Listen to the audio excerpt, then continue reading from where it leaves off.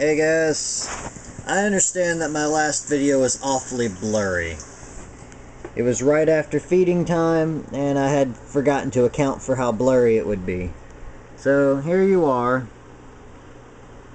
This is after everything's been eaten or absorbed by the sponge filter and back, or fallen to the ground and consumed by snails. I couldn't sleep again, so I figured, hey, you know, they probably want to see what it looks like without it being cloudy.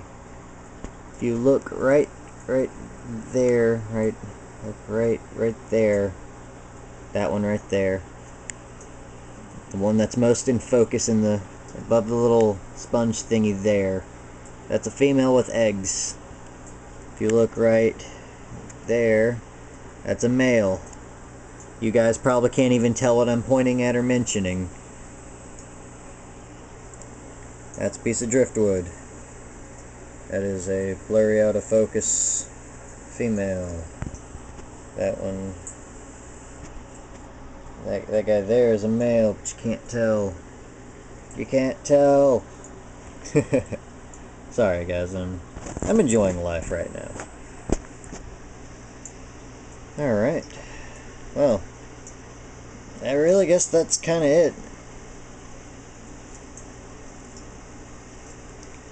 Alright, well, this will be the final, final video. Although I'm not really sure if the other video ever posted successfully. But, uh. That right there is my next triops. Bottle of sand, water, you know, all that stuff. I'm going to put an air stone into it shortly. And this will be the tank. This is Eco Complete and some super ultra mega fine sand that I hate desperately with all of my fiber of my being.